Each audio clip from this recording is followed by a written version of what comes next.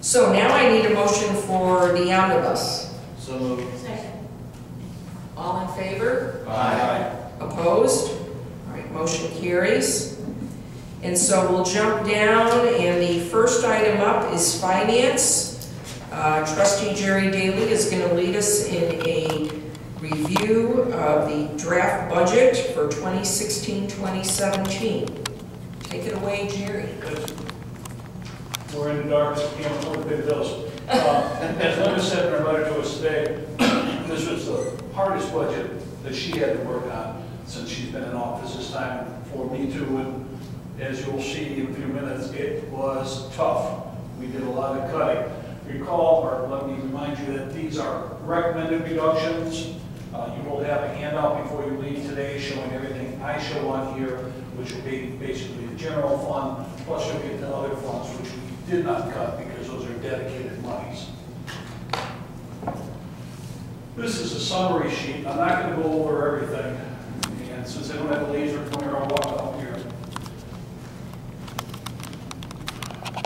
You should put one in the budget. That's the second time someone mentioned that today. Uh,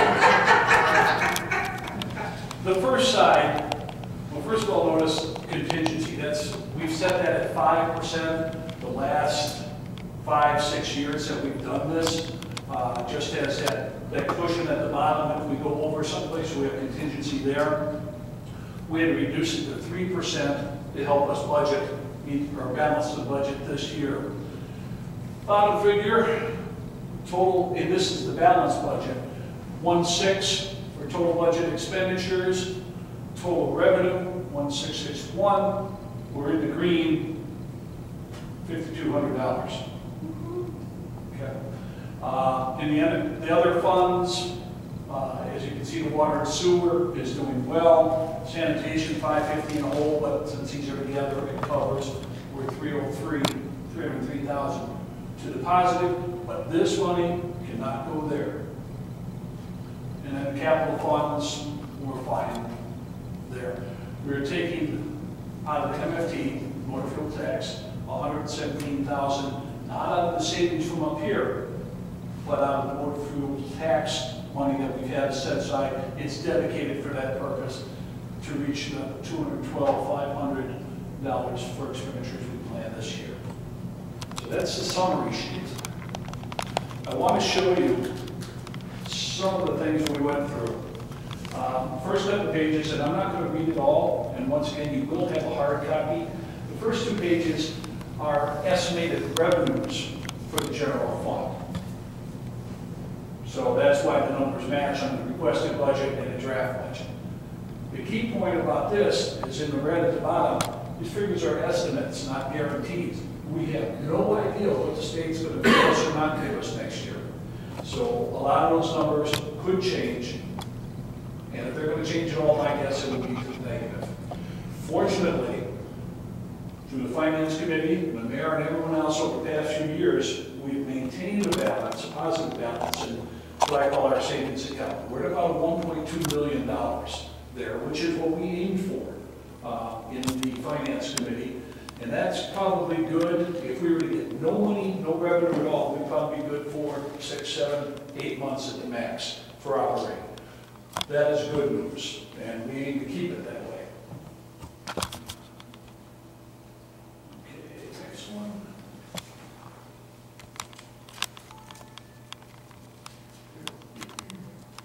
Once again, this is, uh, all right, these are expenditures.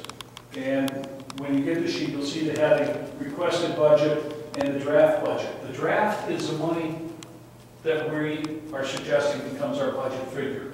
Uh, Some of the things cannot be changed, but if you go down to the uh, note on the right, when you get these sheets, if you see a blank, for example, if you look at 01, 11, 543, 200, training clerk, or actually one right below that, I should say publications clerk, they asked for $135, there's a blank out to the right, which means that money was totally cut. It's zeroed out. The high, first highlighted one, maintenance supplies building, $150 requested, we cut it to 100. We've cut small, If You look at the next one, from 6,000 to 4,500, we cut middle. And the next one, fifty-six hundred down to twenty-five, we cut a lot out of those budgets. We went through this, oh, probably four or five times. Uh, Linda went home one night, worked on it, I worked on it at home, brought it back to Kelly, and she'd say, you can't do that, or we can do this.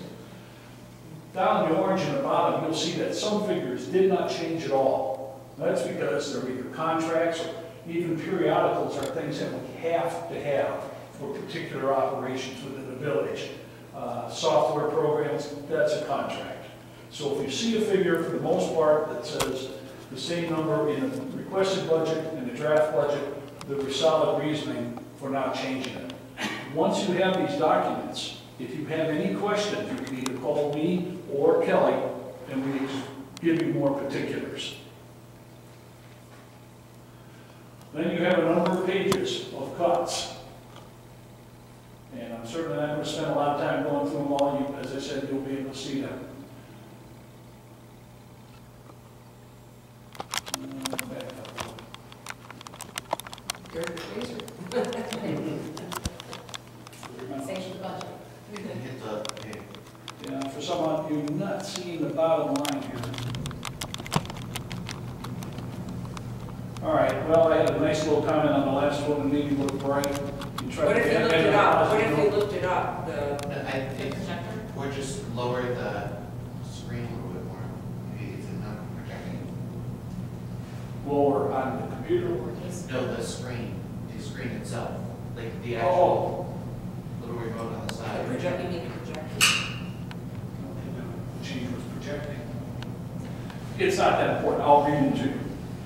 The bottom line through this whole process is we cut three hundred thirty-one thousand, five hundred ninety-six dollars out of all of our requests to reach a balanced budget. Everybody bled on this one. And I mean, it's no surprise, we talked about it for over a year and a half, that this is what was gonna happen. We are, in order to stay on budget, uh, Kelly and I spoke again this evening, we had talked about a purchase requisition form uh, to use before any purchases were made. That'll be put into play here before too long. So before you go out and spend any money on any contract, on anything, you'll get to fill out the form that says who, what, how much, what budget is from, and what is the balance in the budget. And then we'll be able to keep that in the computer. We need to stay on top of this, because we can't spend money we don't have. I will take any questions you might have right now, but as I said before, after you get the paperwork, if you like, you can call Kelly, Linda, or myself for more info.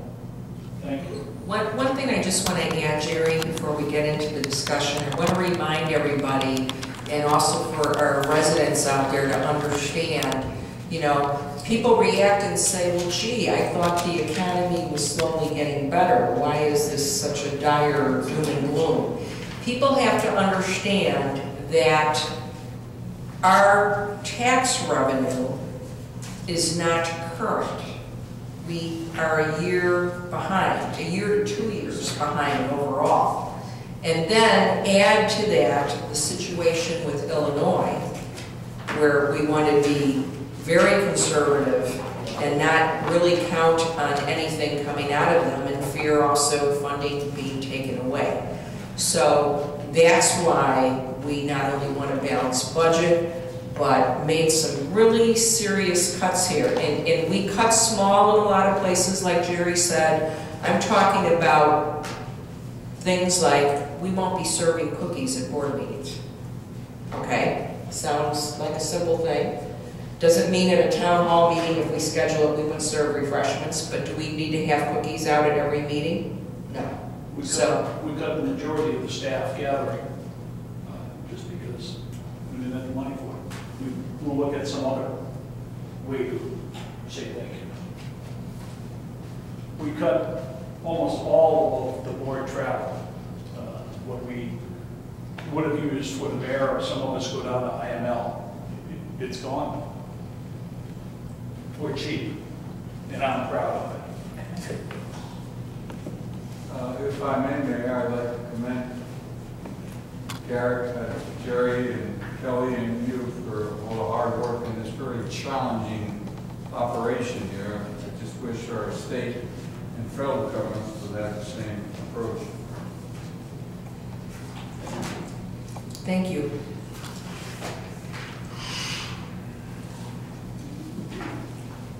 So I don't know if there's any, uh, I know it's a lot to read. Um, We still have plenty of time to work on this, so I think the main thing is please ask any preliminary questions that you have now. But I think you're gonna have to go home, read this and and digest it. Um, And uh, like Jerry said, we're happy to answer any questions, and uh, depending on the feedback, if we need to have another committee of the whole session the next meeting to further discuss this, which, that's fine, we can certainly do that, we have plenty of time. Um, There is a couple very minor things that Kelly and I are still reviewing, I mean, in the scope of the budget, they're minor, but they're still items that aren't finalized, it has to do with technology. Um, For example, um, uh, You may recall, we talked about getting smart tablets. Um, We did leave two in the budget. We had budgeted for three and a new camera. The new camera's gone. Um, We went down from three to two on the tablets. One is for our new public works supervisor, which I think is going to be a very important tool uh, in him, allowing him to do what he needs to do on the go. The other is for trustee Darrenowski, um, to do a- uh, several things, oversee our media control with our Facebook page and any other other things that we expand to. And also, we're going to start doing some experimentation, if you will, with putting the actual board packets on the tablet. And so I felt that was important, that in, it's really the way to go in the future, that we start that. We had had that in the last year's budget and kicked the entire thing out, so I didn't want to kick it to the curb again. Um, So that's an example, so. One last thing on top. Kelly, can you remind the board of the legal steps that are still left for us to do in order to approve a budget? Well, after we have all the final figures back, the little tweakings then, I would present to the board as an agenda item for discussion only at a board meeting. From that, then we would schedule the appropriation hearing, and I need to publish a notice in the paper, and that um, the meeting cannot take place no sooner than 10 days, so we have to look at the calendar that way. We're still looking that we still have four meetings left before May 1st. We have plenty of time. Um, At the appropriation hearing later that night at the board meeting, we are allowed to approve the appropriation ordinance, the budget, the estimated estimate of revenue. So if everyone can review the packets that we put together, come back to us with any feedback, hopefully by the next board meeting, we will know, okay, this night we'll have this, this night we'll have that. I kind of, I kind of can forecast seeing the second meeting of March being that draft in the packet, so everyone has it, and then moving to the first meeting in April, that would give us probably enough time date-wise to get the public hearing notice out. And if it can't make it that first meeting in April, we can still do the Yeah, second meeting of April. We really want to target the first meeting in Yes. April. Yeah, that's, I'd like that to be the goal. And so, talking about going back to the tablets, um, what we realized is that opened up some other issues as far as data usage that goes along with that. We hadn't taken that into account. So we're reviewing our data usage plans. And then that, along with our new public works supervisor, who has asked some very good questions and had some good suggestions, is talking about um, Wi-Fi access for Nextdoor and other options there as well. So um, Kelly just started reviewing uh, some of that and discussing some of the options with me. So now we know enough to be dangerous, and we were going to pick John's brain tonight, so.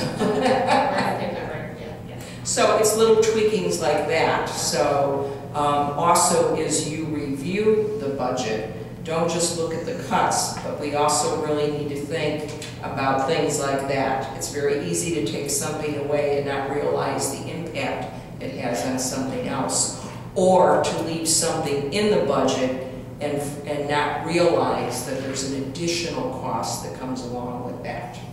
So that's how tight we are. We really want to know everything.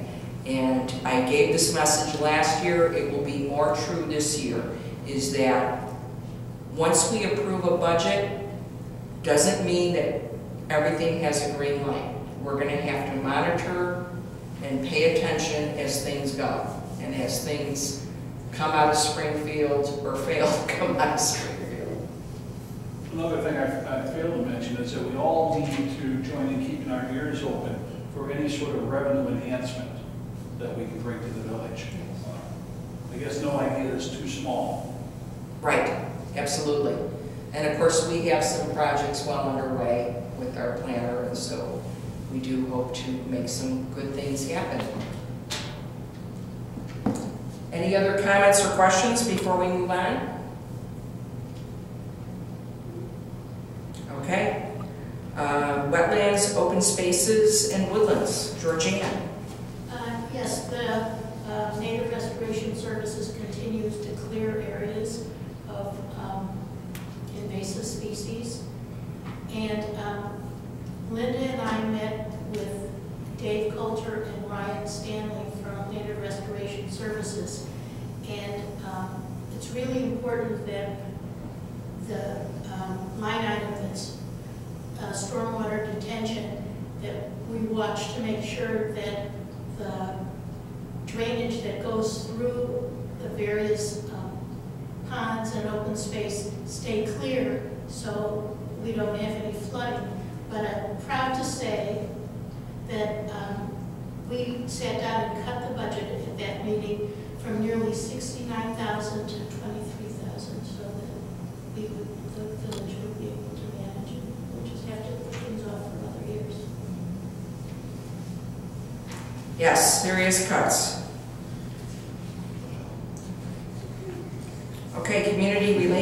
Trustee John Darrenowski. So our YouTube page actually had a weird uptick. Um, we, which is, it's an insignificant amount, but, um, we actually went up to about thirty views on the last village board meeting, which is a huge upswing for, for us. I- It's, it's up about six hundred percent, because we usually get like two or three people. Uh, so it was a very big upswing, so maybe that means that people are actually starting to watch it in greater numbers, or maybe they're starting it and then going back to it. But either way, I think it's, maybe it has something to do with the last meeting being very short.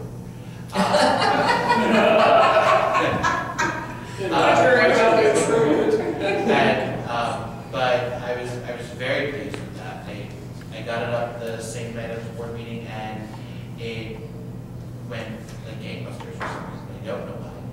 I'm sure the budget this, this time will be, everybody will be glued to their screens. Um, but, uh, yeah, and I'm continuing to work on the Facebook page before we actually make it live so that it can be nice and pretty and we can post all the things on there. Do we have a targeted launch date? Um, probably another week or two, just to Okay. make sure it's all, and I wanna get the recording from your.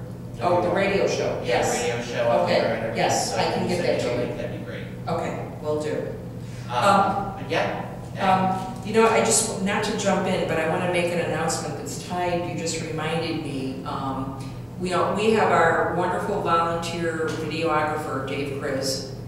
And, um, what we need is, we need a backup videographer because Dave is entitled a day off now and then, or if he's not feeling well.